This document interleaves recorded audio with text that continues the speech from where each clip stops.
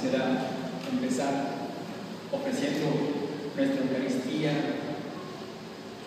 y también solicitando su oración que aunque lejos de nosotros, el pueblo de Egipto sufriendo grandes, grandes este, problemas y tantas, tantas muertes innecesarias de todos los, los sectores y las clases y también todo lo que la iglesia cristiana está viviendo en aquel país con innumerables este, fechorías y vandalismo, muchas iglesias este, golpeadas, quemadas, que no, no podemos permanecer indiferentes. Ayer fuimos a, a Mina, Nuevo León, donde naciendo de los jóvenes de aquí, de los misioneros de San Max, la idea de hacer una capilla en un pueblecito que se llama Remotos. Fuimos todavía con mucho entusiasmo y un, coraje positivo con las noticias tan fuertes, este, tan tristes y terribles de gente muriendo, de gente que está ayudando a los demás y muere, ¿sí? con iglesias que se están destruyendo. Y nosotros íbamos con, el, con la semilla, aún muy pequeña, pero que se engrandecía al pensar en estar construyendo una, iglesia, un templo, una casa de Dios, aunque sea en lugares muy apartados y remotos. Allí se planta una semilla y crece una hermosa iglesia para alabanza y para gloria. Por eso eso que pasa lejos golpea y llega fuertemente a nuestro corazón para impulsar a través especialmente de la oración que llegue la paz. Y también para que golpee nuestra mente y nuestra voluntad para abrir nuestro pensamiento y que en nosotros no exista separación entre religiones, que por sobre todas las cosas podamos reconocer, independientemente de, partidos, clases pensamientos, a la persona que esté delante de nosotros y aún lejos, como un hermano, como una hermana, hijos de un mismo Padre, y, por, y decirlo con toda la fuerza, que más allá de toda religión, lo importante es reconocernos como hermanos, miembros de una misma familia, hijos de un mismo Padre. Por encima de todas las cosas, no debe existir religión que nos impida reconocer a todo ser humano como un hermano del alma y del corazón. Dice el Señor en el no he venido a traer la paz, sino la guerra, la división. ¿De qué está hablando el Señor? Que no, que no, su discurso viene de otra, de otra parte. ¿De qué está hablando el Señor?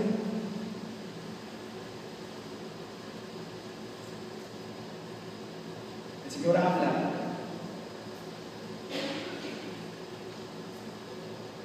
muestra, enseña que la paz que Él viene a traer no es una, una paz gratis, una paz conformista, una paz indiferente. De esa paz no viene a hablar el Señor. Él viene a de una paz que pasa en primer lugar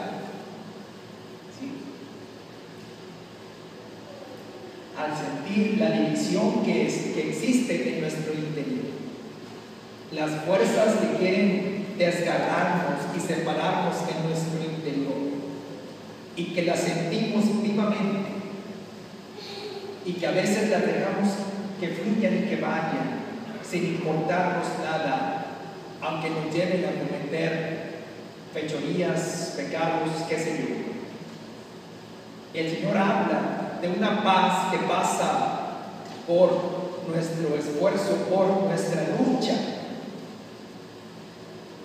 por mantener la unidad en nosotros, por mantener el espíritu en nosotros, por mantenernos unidos al Señor a fuerza de, trabajo, de sacrificio, de renuncia, de lucha, todos los días, del esfuerzo que conlleva, nos habla de esa paz que es fruto de la reconciliación, de perdonar, de tolerar, de ser pacientes, de buscar al hermano, de amar al hermano, de amar al que nos hace mal.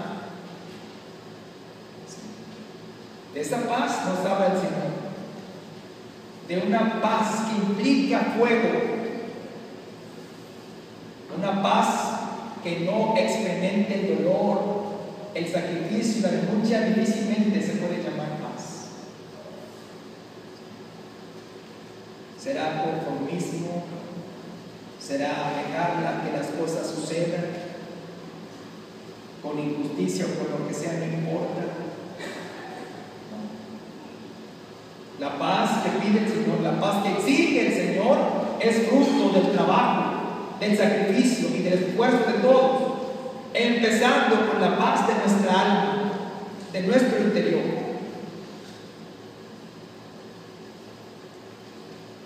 Dice nuestro querido santo patrono Maximiliano María Colbe, que nada grande se alcanza sin dolor, que nada grande se alcanza sin amor, que nada grande se alcanza sin pasión.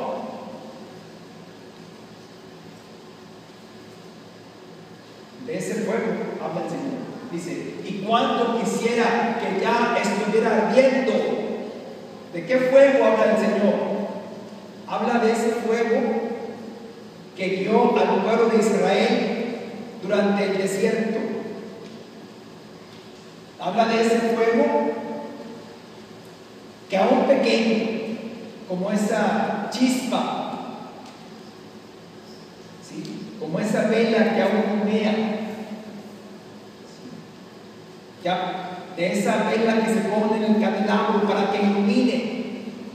Habla de ese fuego que quema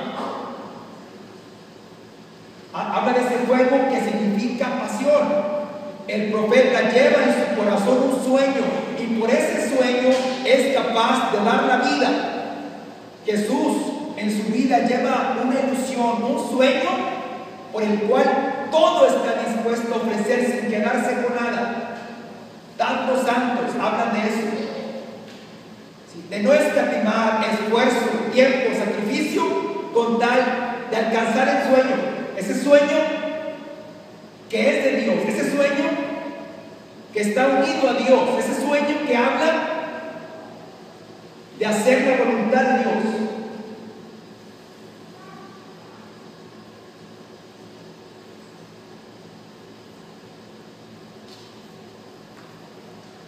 Un sueño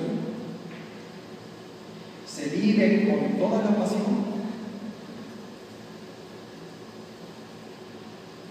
O si no, solamente se queda en eso, en sueño. Todo lo grande pasa, todo lo grande, incluida la fe, la esperanza y la caridad, tienen que vivirse con toda la pasión, si no, no son nada. Nuestra misma vida, nuestra búsqueda incansable de Dios tiene que pasar por toda nuestra energía y por toda nuestra pasión hasta darlo todo. Eso es lo que está dando el Señor. La paz en la familia, la consecución de los objetivos en la familia, personales.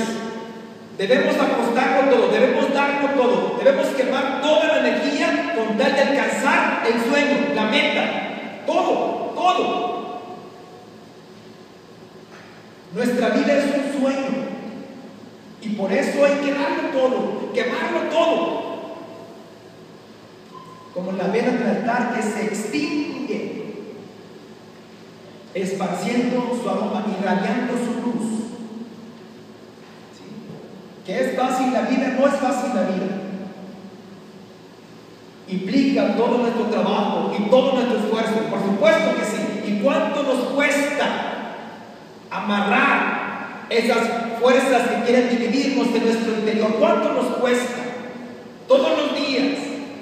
Y sin embargo, debemos claudicar, por supuesto que no. Debemos luchar una y otra vez. Y alcanzar el sueño de Dios que es la voluntad del Señor. Vivir nuestra vida con el fuego de Dios. Eso es lo que hoy nos está diciendo el Evangelio. Y no, y el cristiano no debe conformarse con sueños pequeños. Hay que aspirar a lo más grande. ¿Qué es lo más grande? La santidad. ¿Qué es lo más grande? La voluntad de Dios. ¿Qué es lo más grande?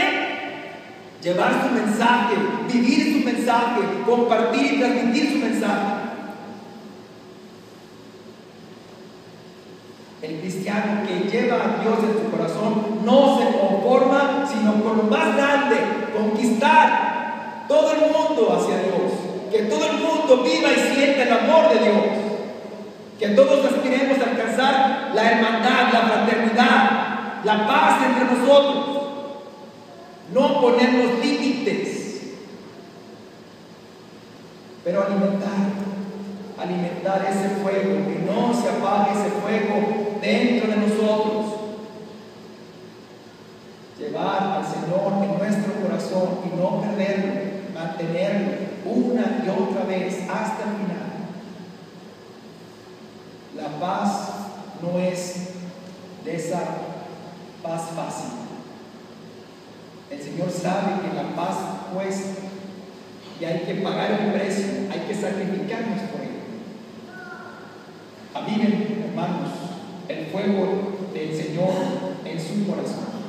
Aviven y no tengamos miedo.